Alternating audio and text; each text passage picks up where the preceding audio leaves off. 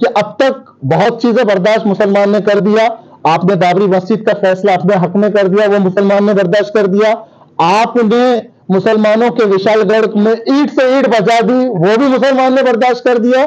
जब बात मुसलमान के ईमान पर आएँगी और नबी की शान में आएँगी, मुसलमान ये चीज़ कभी बर्दाश्त नहीं कर सकता और ना ही करेगा। ऑल इंडिया उलमा बोर्ड की तरफ़ से इंशाला बहुत जल्द ये ऐलान होगा कि मुस्लिम हिस्सेदारी मुस्लिम जायदाद, इसकी हिफाजत के लिए मुसलमान आगे आएगा। इस लड़ाई को हम अकेले नहीं लड़ेंगे। हमारे साथ हमारे मराठा समाज के प्रमुख मनोज जारंगे पाटिल साहब, वो खुद तैयार हुए हैं और उन्होंने खुद कहा है कि जहाँ पर भी मुसलमानों को मेरी ज़रूरत है मैं मुसलमानों के स्टेज पे पहला शख्स रहूँगा जो अपनी आवाज़ रखूँगा और इंशाला वक्त आएगा वक्त आएगा तो लड़ाई नहीं, सड़कों पर आना पड़ेगा तो सड़कों पर भी मुसलमान आएगा। हिंदुस्तान की आवाज़ में आप सभी का स्वागत है। मैं हूँ आपका दोस्त मोहम्मद मुकीम शेख। आइए देखते हैं आज के मुख्य समाचार। All India Ulema board Maharashtra राज्य में आरक्षण के मुद्दों को लेकर जोरदार संघर्ष करेगा। मुंबई से मोहम्मद मुकीम शेख की रिपोर्ट। मुंबई में ऑल इंडिया उलेमा बोर्ड प्रजी की बैठक दिनांक 30 अगस्त 2024 को इस्लाम जिमखाना में आयोजित की गई, जिसमें ऑल इंडिया उलेमा बोर्ड की बैठक में महत्वपूर्ण निर्णय लिया गया कि मुस्लिम समुदाय के लिए महाराष्ट्र राज्य में आरक्षण के लिए संघर्ष करेगा। ये बैठक उलमा बोर्ड के प्रमुख और महासचिव अंजार अनवर खान की ओर से आयोजित की गई थी और इस बैठक के बीच महाराष्ट्र के इतिहास में एक बड़ा निर्णय लिया गया था और शुरुआती मुस्लिम समुदाय ने हर शहर में एक बड़ी सभा और आंदोलन किया था। करनार और मराठा समुदाय के प्रमुख मनोज जारांगे पाटिल के साथ साथ पूरे मुस्लिम समुदाय के प्रमुख और महासचिव अंजार अनवर खान ने बताया कि मुस्लिम और मराठा समुदाय मुसलमानों के लिए आरक्षण की लड़ाई में एकजुट होंगे। उक्त बैठक में उल्मा बोर्ड के प्रमुख इकबाल मेमन और महासचिव अंजार अनवर खान एमआईएम प्रवक्ता वारिस पठान, उल्मा बोर्ड आरिफ बापू मेमन, रहीम पाटनी, राजू जागीरदार, मुस्तफ़ा शेख, मौलाना जावेद, मुफ्ती नईम, मुफ्ती समीउल्लाह, शकील भाई, नबील भाई और शहबाज शेख, अज़ीज़ भाई, अजहर भाई, रहीम पटनी, वसीम पाशा, गुलाम मंसूरी, मिस्टर शेख, मोहन कुरैशी, सिद्दीक शेख, अल्ताफ मंसूरी, रिजवान कुरैशी ता कुरैशी, असलम रेशम वाला, यास्मीन लुलानिया, जुलेखा शेख, समीरा फुरकान, डॉक्टर अल्पना, नुसरत बेग, शबाना शेख, शबाना लकड़ावाला यास्मीन आपा, सहित महाराष्ट्र राज्य के अनेक जिला के प्रमुख पदाधिकारी मौजूद थे। इस अवसर पर ऑल इंडिया उलेमा बोर्ड के मुंबई अध्यक्ष आरिफ मेमन बापू ने दूसरी बार नियुक्त किए जाने पर ऑल इंडिया उलेमा बोर्ड के प्रमुख और महासचिव अंजार अनवर खान का शुक्रिया अदा किया और आयोजित इस महत्वपूर्ण बैठक में सभी लोगों का धन्यवाद किया।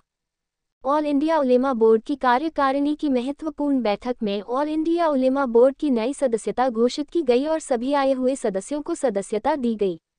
इस अवसर पर ऑल इंडिया उलेमा बोर्ड की बैठक में माहिम व हाजी अली दरगाह ट्रस्ट के चेयरमैन सोहेल खंडवानी ने पत्रकारों को संबोधित करते हुए कहा कि उलमा बोर्ड ने आज जो प्रोग्राम रखा था इधर, एक कॉन्फ्रेंस थी, काफ़ी इंटेलेक्चुअल लोग आए थे, उलमा भी थे उसमें। इसमें मेन मौजू जो था, एक तो रिजर्वेशन के ऊपर था, एक वक़फ़ का जो न्यू बिल था और एक इमामों की जो रेम्यूनरेशन है, उसके ऊपर बात हो रही थी। वक़फ़ का जो बिल आया, उसके लिए आज एक दिल्ली में जेपीसी की मीटिंग भी हुई थी, जिसमें हमारे हाजिली के ट्रस्टी भी रिप्रेजेंट किए। और आज भी वो सब्जेक्ट पे बात किया। इसके ऊपर चार पॉइंट जो है, जो बहुत ही अहम है, जिसके ऊपर हमें सोचना पड़ेगा और गवर्नमेंट को लिखना भी पड़ेगा कि ये पॉइंट आने से कम्युनिटी को और वक़फ़ की प्रॉपर्टी को कैसा नुकसान हो सकता है। जिसमें एक पॉइंट ऐसी थी कि सेक्शन 40 को जो ये लोग डिलीट करना चाहते और पावर जो है पूरे कलेक्टर को देना चाहते। आज कलेक्टर की खुद की लैंड है बीएमसी की लैंड बीएमसी के पास है बीपीटी की लैंड बीपीटी के पास है तो वक़फ़ की लैंड जो है वो सीओ ही डिसाइड करना चाहिए। बिकॉज़ एक Waqf board already semi judicial body है और अगर उससे किसको कुछ एग्रीवेशन होता है तो ऑलरेडी ट्राइब्यूनल भी है हाई कोर्ट भी है और सुप्रीम कोर्ट भी है। तो ये एक पॉइंट बहुत इंपॉर्टेंट थी। दूसरा, उसमें ऐसा था कि दो नॉन मुस्लिम मेंबर्स लेना चाहिए। वो भी एक डिफ़िकल्ट इशू है बिकॉज़ एक मोहम्मदिन लॉ के हिसाब से जो चले जा रहा है तो एक मुस्लिम भी वो मोहम्मदिन लॉ को या शरीत लॉ को जान सकता है तो वो ज़्यादा इफ़ेक्टिव होगा कि अगर मुस्लिम रिप्रेजेंटेशन उसमें रहे। और ऑलरेडी एक वक़फ़ का कॉन्स्टिट्यूशन है जिसमें असेंबली के भी लोग हैं पार्लियामेंट के लोग हैं बार काउंसिल के लोग हैं और सब मुस्लिम रिप्रेजेंटेटिव है तो वो ज़्यादा फ़िक्र से उसके ऊपर, वक़फ़ की प्रॉपर्टी के ऊपर सोच सकेंगे। तीसरी पॉइंट ऐसी थी कि एडवर्सरी पोजीशन जो है पोजीशन मिल जाता है चौदह साल के बाद में या बारह साल के बाद में। वक़फ़ में ये केस नहीं होना चाहिए बिकॉज़ वक़फ़ का पूरा पर्पज़ ही डिफीट हो जाता है। कि वक़फ़ का मतलब ये है कि प्रॉपर्टीज़ का कि वंस अ वक़फ़ ऑलवेज अ वक़फ़। और प्रॉपर्टी का जो ओनर जो है वो अल्लाह ताला है। और अल्लाह ताला की प्रॉपर्टी में अगर कोई इंक्रोच करता है और इलीगल करता है तो उसके ऊपर एक्शन देके इमीजिएटली वेकेट कराना चाहिए। ना कि उसको चौदह साल का एडवर्सरी या बारह साल का एडवर्सरी पोजीशन मिलना चाहिए। ये तो पूरा लॉ ही डिफीट हो जाएगा अगर उसके ऊपर अगर बात होती है तो। और दूसरी इंपॉर्टेंट पॉइंट ये थी, चौथी पॉइंट उसमें ऐसा था कि चार ग्रुप जो है, अभी तैयार हो रहे कि डिफरेंट वक्फ बोर्ड बनाए। पहले तो सुन्नी एक वक्फ बोर्ड था, फिर शिया एक वक्फ बोर्ड अभी एक बोरी वक्फ बोर्ड खोजा वक्फ बोर्ड ऐसा होगा तो हर सेक्ट जो चाहेगा कि अपना वक्फ बोर्ड अलग अलग से बने तो उसमें ना प्रॉपर्टी का ध्यान रहेगा, ना कुछ होगा बिकॉज़ अपने अपने मेंबर्स उसमें जाएँगे। और फिर प्रॉपर्टी वक़फ़ से एलिनेट होते जाएगी। एलिनेट का मतलब निकल जाएगी। वक़फ़ में कोई प्रॉपर्टी का कन्वेंस नहीं हो सकता है, ना ट्रांसफ़र हो सकता है लॉन्ग लीज नहीं हो सकती। अनलेस वो डेवलपमेंट के लिए अगर वो कोई नवा कैबिनेट उसके लॉ लाती है कि ट्रस्ट को उसका फ़ायदा हुए तो वो बात एक अलग है। इसमें सुप्रीम कोर्ट का ऑलरेडी एक जजमेंट था कि 15 परसेंट के ऊपर अगर वो कोई कम्युनिटी की प्रॉपर्टी है तो ही वक्फ बोर्ड बनाया जाए। तो पहला उसका असेसमेंट होना चाहिए। तो ये बहुत इंपॉर्टेंट चीज़ है। इसका रिप्रेजेंटेशन माहिम दरगाह और हाजिली दरगाह भी कर रही है। और हमारे लोग आज जेपीसी मीटिंग में भी गए थे हमारे ट्रस्टीज लोग। वहाँ एक रिप्रेजेंटेशन रखने के लिए तो पूरी कोशिश कर रहे हैं कि इसके ऊपर हम लोग कैसा काम करके वक़फ़ की प्रॉपर्टी को बचाएँ। दूसरा मुद्दा जो आज उलमा काउंसिल का बहुत ही अहम था रिजर्वेशन के ऊपर। रिजर्वेशन पे अपने लोगों की अपनी अपनी सोच है। बट uh, मेरा एक इंडिविजुअल सोच ये है कि रिजर्वेशन हम uh, क्यों लेवे? कम्युनिटी बेस के ऊपर, क्या हम सेकेंड सिटीजन है? हम सेकेंड सिटीजन नहीं है। हम जो है ऑक्यूपेशन के ऊपर रिजर्वेशन मांगे। हर, और इंक्लूसिव रिजर्वेशन होना चाहिए। हर कम्युनिटी का ऑक्यूपेशन देखते हुए वहाँ रिजर्वेशन जाना चाहिए, ना कि रिलीजन बेस के ऊपर। और तीसरा पॉइंट ऐसा था कि इमामों की जो पगार से या उनकी रेमुनरेशन से उनका घर उनको और ताकत कैसा दे जब वक्फ बोर्ड हमारे से सेवन परसेंट लेता है तो वही ट्रस्ट के थ्रू हम उनको रेमुनेशन देवे, ताकि वो उलमा ट्रस्ट के थ्रू वो रेमुनेशन रहे उनका मेडिकल होवे, उनका एजुकेशन उनके बच्चों का होवे, और उनके बच्चों को फिर हम कैसा सोशल फ़ील्ड में लेके आ सकते हैं, और उनकी रेमुनाएँ भी हमारे साथ में रहे। ना वो गवर्नमेंट के या वक़फ़ के मुलाजिम क्यों बने? जब जो ट्रस्ट में वो नमाज़ पढ़ाते हैं, वही ट्रस्ट से उनको इज़्ज़त से रेमुनेशन मिलना चाहिए, ये हमारी सोच थी। इसके ऊपर काफ़ी गौर फ़िक्र हुआ। काफ़ी पॉइंट्स बनी और अभी उलमा बोर्ड इंशाल्लाह इसको आगे लेके जाएगी। देखिए, आज तो जो बैठक ली गई है ऑल इंडिया उलमा बोर्ड में जनरल सेक्रेटरी अंजर अनवर खान और आज बहुत अहम बैठक मुल्क के हालात को सामने रखते हुए ली गई है, और ये अचानक में तय हुआ था, अल्हम्दुलिल्लाह, आज ये इतने अचानक में तय होने के बाद भी हॉल में बैठने के लिए ये एक प्रेस मीट थी। और मेन मुद्दा जो था, हमारा आरक्षण रिजर्वेशन या हिस्सेदारी। तो आज ये नतीजा हमको मिला कि ये रिजर्वेशन की हम बात करने की ज़रूरत नहीं क्योंकि ऑलरेडी मुसलमान यहाँ है, ये फ़र्स्ट सिटीजन है, और इक्वली यहाँ पर राइट्स रखता है तो वह एतबार से मुसलमान हिस्सेदारी की बात करेगा, जितने परसेंटेज हम यहाँ पर इस मुल्क में है, उतने परसेंटेज की बात होंगी। देखिए, इसमें चेहरे की बात नहीं है, एक समाज की बात है। जैसे मुतहदा तौर पे हमने देखी कई समाज आगे आकर अपना हिस्सा लेकर गए जबकि मुसलमान पहले से पिछड़ा हुआ रखा गया था, अभी भी पिछड़ा हुआ रखा गया। तो अब ऐसा नहीं होने देंगे। अब तो हालात आपके सामने ये लोकसभा इलेक्शन में बता दिए कि मुसलमान नमक की हैसियत रखता है। जहाँ मुसलमान का डगर था, वहाँ पर सत्ता बनी है और सत्ताधारियों को भी पता हो गया और जो गिरने वाले जो लोग थे, उनको भी पता हो गया कि मुसलमान की क्या अहमियत है। तो इसी को लेकर अगर कोई चेहरा है तो इंशाल्लाह हम लोग सब मिलकर एक मुतहदा प्लेटफॉर्म बनाकर इस लड़ाई को लड़ेंगे। ये एक दिन की लड़ाई नहीं होंगी, ये पूरे मुल्क में, पूरे स्टेट में, पूरे राज्य में इंशाला एक तहरीक काम करेंगी जो मुसलमानों के हित के लिए, मुसलमानों की हिस्सेदारी के लिए और मुसलमानों के हक के लिए। तो इंशाला इसको पूरे जद्दोजहद के साथ पूरी ताकत के साथ इंशाल्लाह हम बताएँगे। देखिए, लोकसभा में हिस्सेदारी तो हम कहेंगे कि बिल्कुल नहीं दी गई, इसलिए मैंने कहा ना, मुसलमानों को साइड में रखा गया।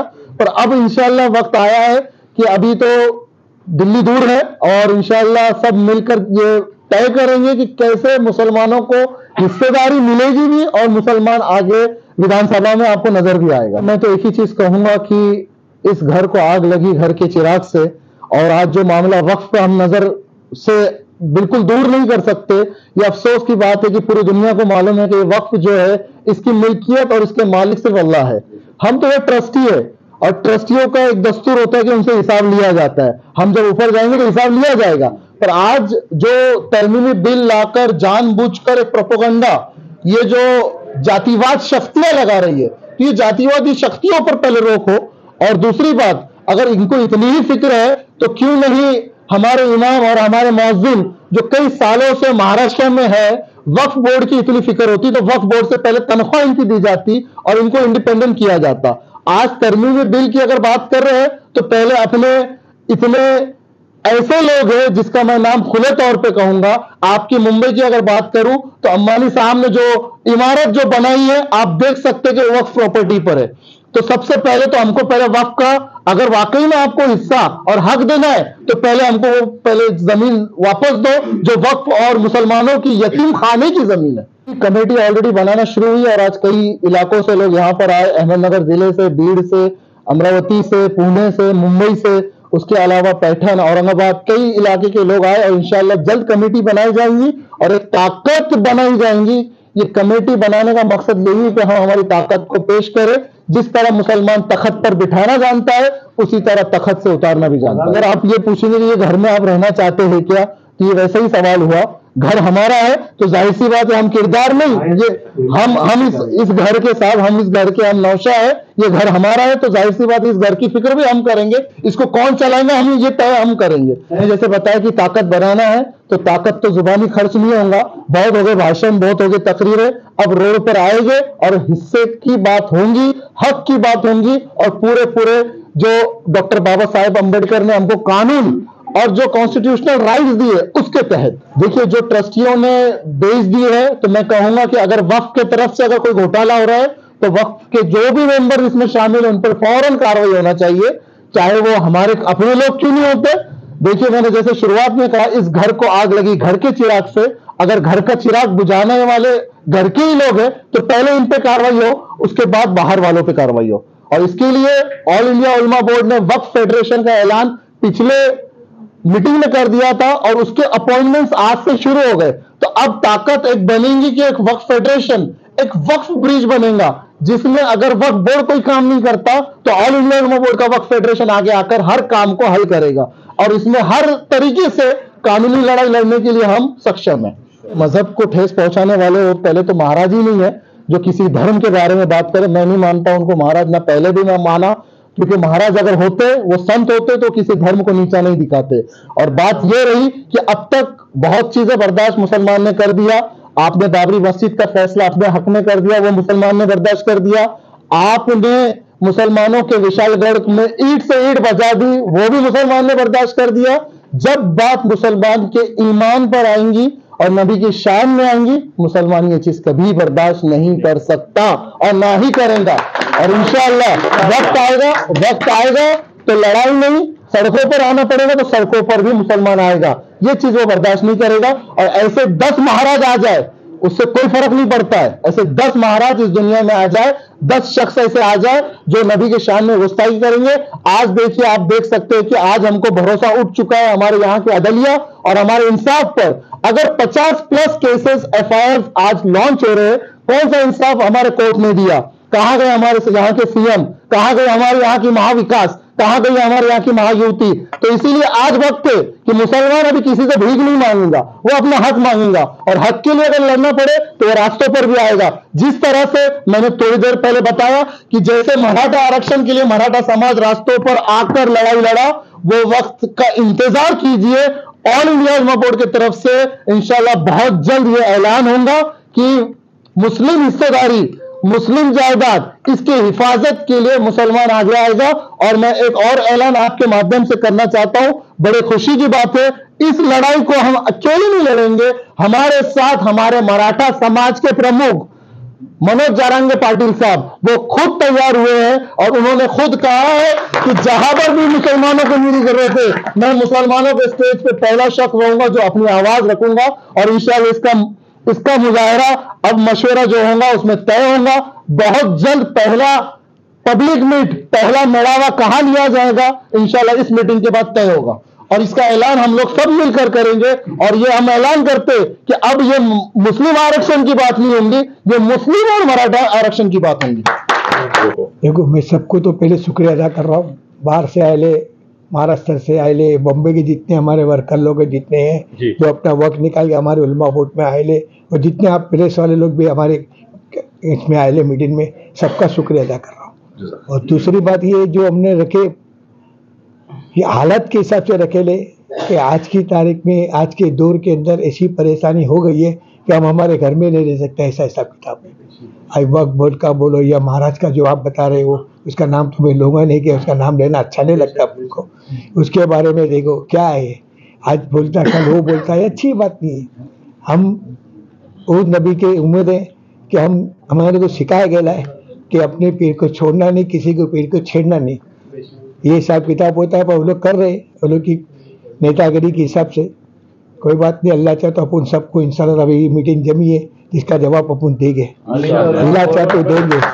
देखो सब सबसे पहले तो मेरे को जो सर्टिफिकेट जो मेरे को पद मिला है पहले अंजर भाई ने दिए पर मैंने मखदूम सरकार के खिदमत अपने कमेटी मेंबर उनके जो सुरेख खडवानी के हाथ से लिया तो अलहमदिल्ला जब उनके हाथ से लिया तो आगे तो तरक्की करेंगे।